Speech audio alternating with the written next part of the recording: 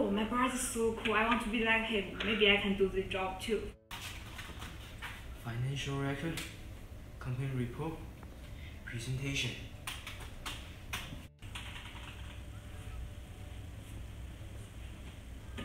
Boss, I just want to say you're doing a very good job. Very good job.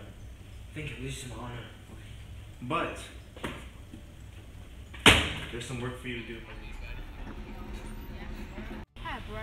Your job? Could you tell me more about that? Because it looks so cool. Oh, I think my job is auditor is basically a person who authorizes to review and verify the accuracy for business. Oh, so it's about the person who stand at the back to protect a company or family.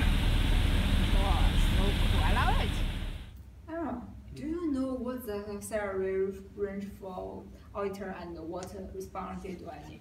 Yep, the salary range is sixty-two thousand eight hundred fifty dollars. The responsibilities are analyzing and inspecting records of fraudulence, and the job outlook is acc- accounting and organizing math and communications. Oh, well, Good morning, guys. Today we're gonna talk about auditors, and most of most auditors work in office such as government department and public accounting. You need to get at least bachelor's degree, and one is CPA stand for Certified Public Accountant, and one is CIA stand for Certified Internal Auditor. And you guys just study hard, and.